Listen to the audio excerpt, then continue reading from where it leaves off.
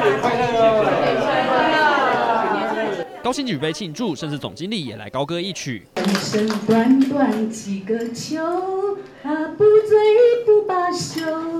东边我的美人啊，西边黄河流。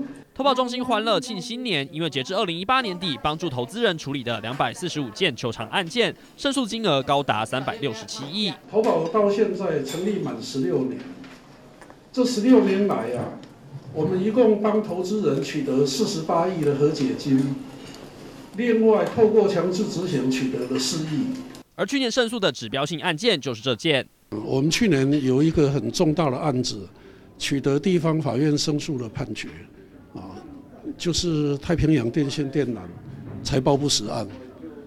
那这个案子，呃，一审判决，被告要赔偿投资人七十几亿元。